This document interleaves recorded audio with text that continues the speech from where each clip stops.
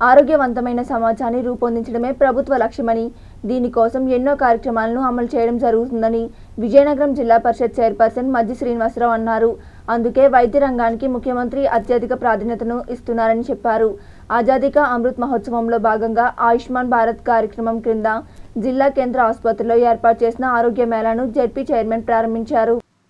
ఈ సందర్భంగా ఆయన మాట్లాడుతూ ప్రజల ఆరోగ్యాన్ని మెరుగుపరచడానికి ప్రభుత్వం తీసుకుంటున్న చర్యల్లో భాగంగా ఈ ఆరోగ్య మేళాలను ఏర్పాటు చేయడం జరిగిందని అన్నారు. వీటిని ప్రజలు వినియోగించుకోవాలని కోరారు. ఆరోగ్య మేళాలను గ్రామీణ ప్రాంతాల్లో విస్తృతంగా ఏర్పాటు చేయాలని సూచించారు. ఆరోగ్య పరిరక్షణకు సంబంధించి ప్రజల్లో మరింత అవగాహన కల్పించాల్సిన అవసరం ఉందని దీనికి వైద్య ఆరోగ్య శాఖ కృషి చేయాలని కోరారు. జిల్లా కలెక్టర్ ఏ సూర్యకుమారి మాట్లాడుతూ ప్రభుత్వ వైద్య సేవలను ప్రజలకు మరింత చేరువ చేసేందుకు ఆరోగ్య మేళాలను ఏర్పాటు చేయడం జరుగుతుందని అన్నారు. ఆయుష్మాన్ భారత్ డిజిటల్ ఐడి కార్డులు చాలా ఉపయోగకరమని. దీనివల్ల ఆయా వ్యక్తుల పూర్తి ఆరోగ్య చరిత్రను ఈ కార్డుల ద్వారా తెలుసుకోవచ్చని చెప్పారు.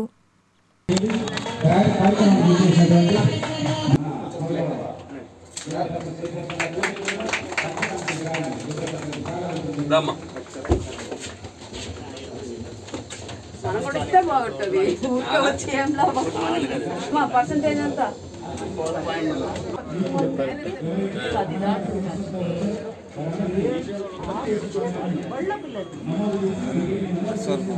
అమ్మాయిలు నైన్ చాలా ఎక్కువ దగ్గర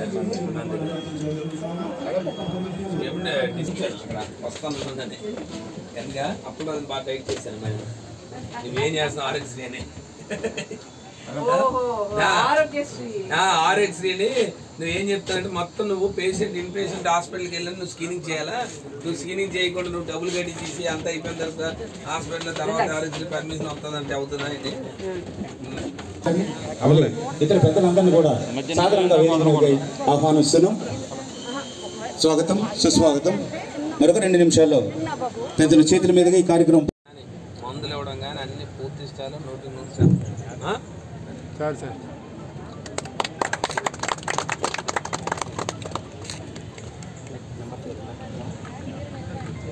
ఇది విలేజ్లో స్క్రీనింగ్ ఉందా? క్యాంప్ అవుతుంది మేడం తేడా ఉందా ఏం బేస్ పూర్తి కబడికినా ఓకే కోరుకుంటున్నాం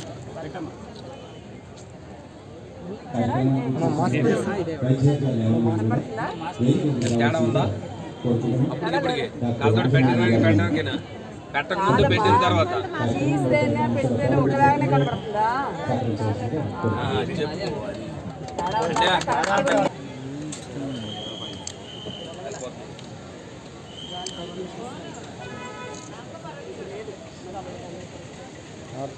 అంటే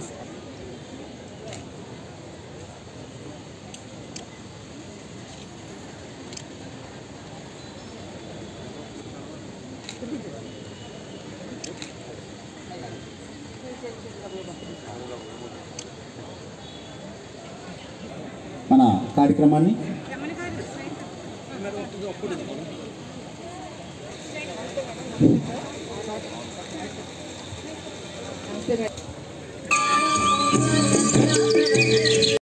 ఎనీమియా.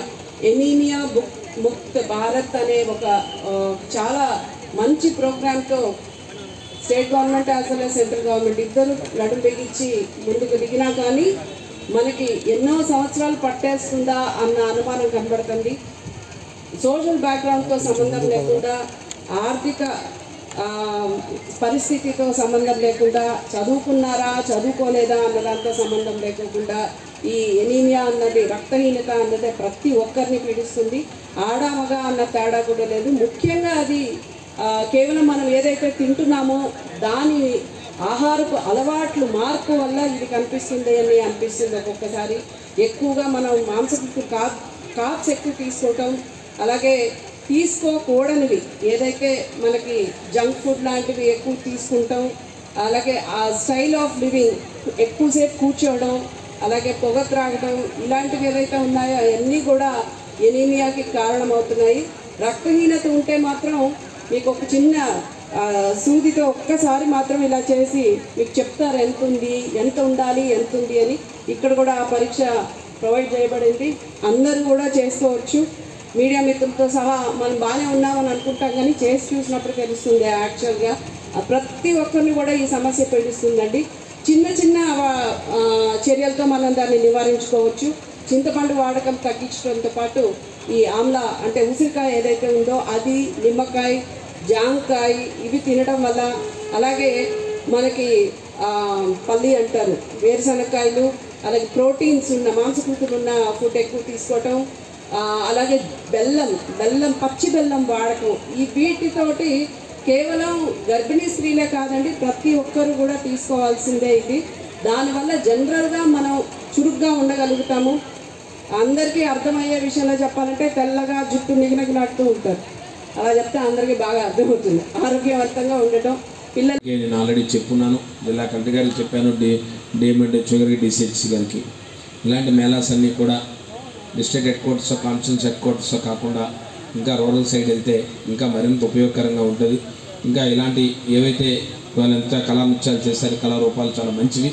ఇలాంటివి ఇంకా కూడా అవేర్నెస్ తీసుకురావడానికి ఆ ప్రాంతాలు గ్రామీణ ప్రాంతాలకు వెళ్తే ఇంకా చాలామందికి బాగా అవగాహన వస్తుంది అవగాహన వస్తుందని చెప్పి నేను కోరుకుంటూ ఇంకా మంచిగా ఇన్ ఫ్యూచర్ కోర్సులో ఇలాంటి విషయాల్లో దీంట్లో ఉన్న ప్లస్ మైనస్ అన్నీ కూడా తీసుకొని ఫ్యూచర్ కోర్సులు ఇంకా బాగా చేసేటట్టు మనం ముందుకెళ్ళాలని ఇంత బాగా ఆర్గనైజ్ చేసిన మెడికల్ సిబ్బంది అందరికీ కూడా పేరు పేరున ధన్యవాదాలు తెలియజేసుకుంటూ సెలవు తీసుకుంటాం థ్యాంక్ యూ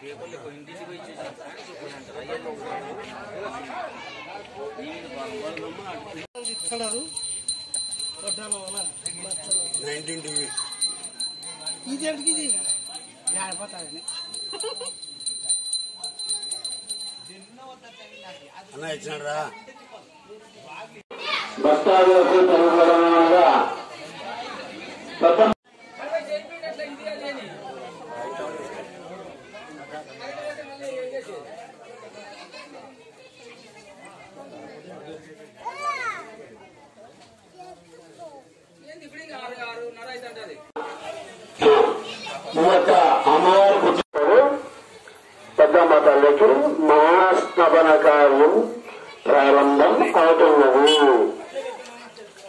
మరికొద్దిసేపట్లో పోయిందిలే పోయిందిలే బాబు పోయిందిలే. పోయిందిలే నల్లని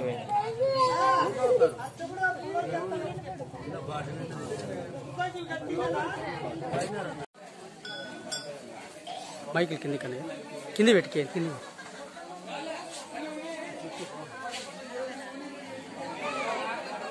రైట్ యా పెద్దగొడుగురు మండలం ఆవలాంపల్లి గ్రామంలో శ్రీ పెద్దమ్మ తల్లి విగ్రహ ప్రతిష్టాపన కార్యక్రమం జరుగుతోంది. గత రెండు రోజుల నుంచి ఈ రోజుతో ఇప్పుడు మహాస్తమన కార్యము.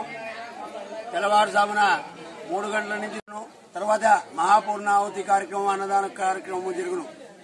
ఈ కార్యక్రమము గ్రామ ప్రజలు గ్రామ పెద్దలు మరియు యువక సంఘం తరఫున అన్ని రకాలైనటువంటి కార్యక్రమాలు జరుగుతున్నాయి.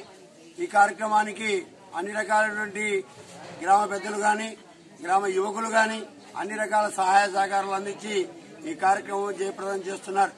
తర్వాత మహిళామణులు తన వంతు కార్యక్రమంగా అన్ని కార్యక్రమాలు చేస్తున్నారు. కాబట్టి ఈ కార్యక్రమానికి వచ్చి అందరూ కూడా ప్రథమ ప్రతిష్టాపన కార్యక్రమం చూసి అందరూ ఆమె కృమకు పాత్రులై అన్ని రకాల ఆయుర ఆరోగ్య ఐశ్వర్యాలు సుఖ సంతోషాలు కలగాలని ఈ కార్యక్రమం చేస్తున్నాం. ఈ ఈ అవలంబలి గ్రామము తద్వారా ఈ మండలం ఆయుర పెద్దొడుగురు మండలం అవలంపల్లి గ్రామంలో శ్రీ పెద్దమ్మ తల్లి విగ్రహ ప్రతిష్ఠ జరుగుతున్నది. ఇక్కడికి విచేసిన భక్తాదులు మరియు గ్రామ ప్రజలకు మరియు బంధుమిత్రులకు అందరికీ నా నమస్కారాలు. ఈ పెద్దమ్మ తల్లి విగ్రహ ప్రతిష్టని కార్యక్రమంలో సక్సెస్ఫుల్ చేయాలని ప్రతి ఒక్కరిని కోరుకుంటున్నాము. ఈ పెద్దమ్మ తల్లి విగ్రహ ప్రతిష్టకు ప్రతి ఒక్కరూ సహకరించారు. ఈ మరియు ఈ గ్రామంలో ఉన్న ప్రజలు మరియు పెద్దలు ప్రతి ఒక్కరూ ఈ విగ్రహ ప్రతిష్టకు అందరూ అనుకూలంగా సహకరించి ఈ పెద్దమ్మ తల్లి విగ్రహ ప్రతిష్టను అందరూ సక్సెస్ జయప్రదం చేశారు. Thank you